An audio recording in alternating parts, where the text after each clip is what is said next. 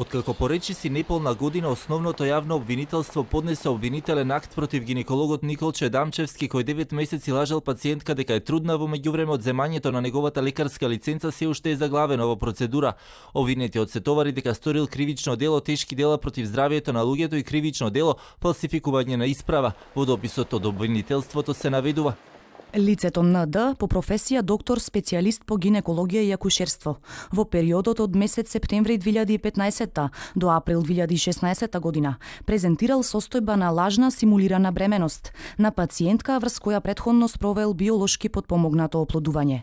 Имено лекарот, иако знаел дека оштетената не е бремена, врз неа вршел редовни контролни гинеколошки прегледи со апарат, презентирал лажни ехо снимки на кои се гледа плод, презентирал лажна срцева акција на плодот, правел скрининзи со писмени извештаи во кои е наведено дека на ехото се гледа плод во различна гестациска недела, а потоа договорил и термин за пораѓање. Адвокатката на семејството Ирена Фрчковска пак вели дека очекувале и досега да биде поднесен обвинителен акт, но и бараше одземање на лиценцата. Случајот е самиот по себе специфичен. Сметаме дека покренувањето на обвинителниот акт е важен и од еден друг аспект, а тоа е во можно превенирање на повторување на вакво на ваков сличен случај да се превенира да не се повторуваат вакви или слични е, состојби од страна на лекари во кои ние имаме апсолутна доверба. Тогашниот министер за здравство Никола Тодоров пак се огради од случајот укажувајќи дека не се надлежни за одземање на лиценцата и дека надлежна за тоа лекарската комора.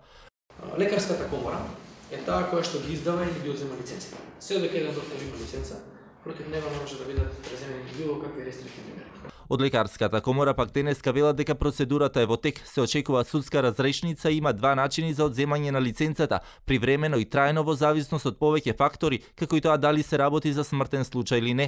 Постојат закони и секако согласно нив ќе постапува и лекарската комора. Од комората да објаснува дека докторот веќе бил изведен и пред етичката комисија и судот на честа. Гинекологот Дамчевски кој тогаш го контактираше телевизија 24 тврдеше дека не се чувствува виновен и дека дал исказ онаму каде што требало. Не сакаше ништо да говори пред да има институционална разрешница.